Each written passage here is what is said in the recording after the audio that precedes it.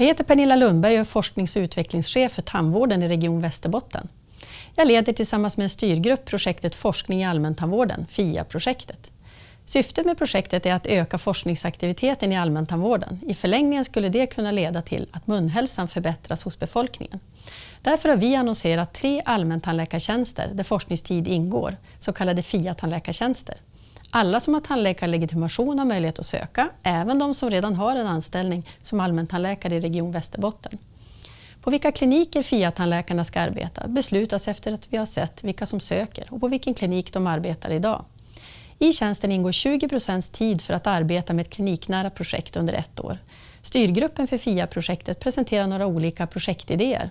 Tillsammans med verksamhetschef och FIA-tandläkaren väljs ett projekt ut. FIA-tandläkarna hand, får handledning av en erfaren forskare och efter ett år utvärderas projektarbetet och det finns möjlighet till ett års förlängning. Förhoppningsvis väljer sedan någon av FIA-tandläkarna att söka sig till universitetet för en forskarutbildning. Det vore värdefullt, för vi behöver fler forskningsledare i allmäntandvården. Välkommen med din ansökan!